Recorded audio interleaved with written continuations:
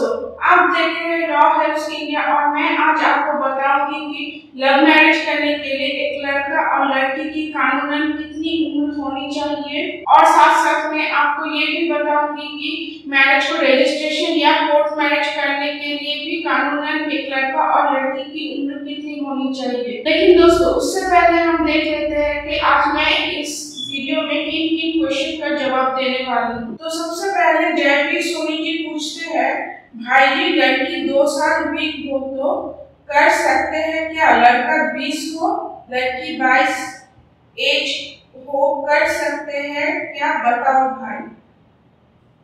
उसके बाद जितेंद्र साइनी साइनी पूछते हैं कि, सर, मेरे गर्लफ्रेंड की एज 18 इयर्स हो गई है, लेकिन मेरा भी एज 18 इयर्स है।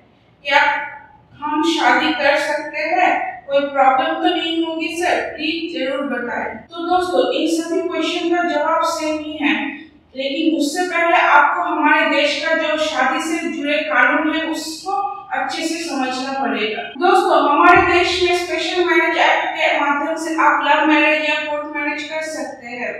स्पेशल मैरिज एक्ट के चैप्टर टू और चैप्टर थ्री में दिया हुआ है कि कोर्ट मैरिज कैसे करना है और उसके क्या क्या नियम है दोस्तों हमारे देश के कानून के मुताबिक एक लड़के का उम्र 21 या उससे ऊपर होना चाहिए और एक लड़की का उम्र 18 या उससे ऊपर होना चाहिए, तभी जाके दोनों कानून लव मैरिज कर सकते हैं या फिर कोर्ट मैरिज भी कर सकते हैं।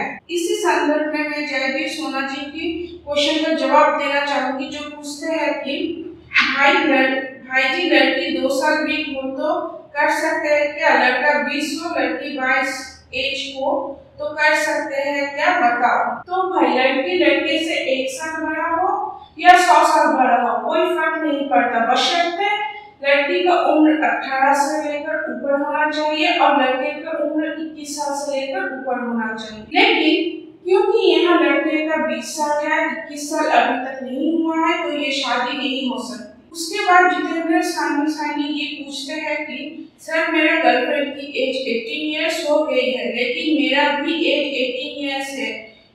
क्या हम शादी कर सकते हैं? कोई प्रॉब्लम तो नहीं होगी, सर प्लीज़ ज़रूर बताएँ।